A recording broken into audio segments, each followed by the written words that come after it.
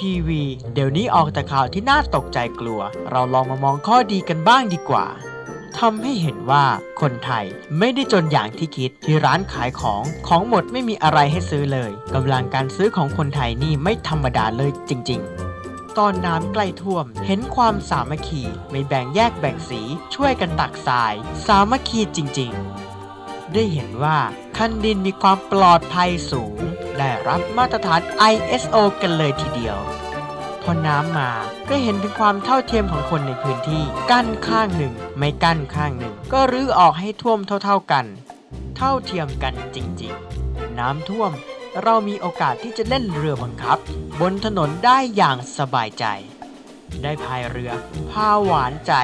ชมแสงจันทร์ โรแมนติกสุดๆ ไม่ต้องไปไกลถึงเวนิส ประเทศอิตาลี ประหยัดจริงๆ บ้านเราจะกลายเป็นที่พักพิงของสิ่งมีชีวิตมากมาย ใจบุญกันจริงๆ ได้เห็นจระเข้โดยไม่ต้องไปไกลถึงสวนสามพลาน สัมผัสได้จริงๆ กลับมาบ้าน บ้านโล่งสะอาด ไม่รู้ว่าอะไรพัดของหายไปจากบ้านหมด สมบัติของเราปลอดภัยจริงๆ เราอาจจะล่ามจระเข้ที่พบแถวบ้านไว้ที่หน้าบ้าน เพื่อป้องกันการโจรกรรม ปลอดภัยจริงๆ ไม่ต้องไปซื้อน้ำหมักประเชงเพราะน้ำที่อยู่บริเวณบ้านเรา หมักบ่มมาเป็นอย่างดี ใช้ทดแทนกันได้ ประหยัดกันจริงๆ ถนนโล่งมาก แทบจะพายเรือแทน น้ำไม่สูงเท่าไหร่ แค่จะมิดหลังคาบ้าน จะมีสักกี่ครั้งในชีวิต ที่เราได้ไปอยู่บนหลังคาบ้านแบบเต็มใจขนาดนี้ เปลี่ยนบรรยากาศจริงๆ ได้หยุดยาวๆอยู่บ้าน เหมือนช่วงเทศกาล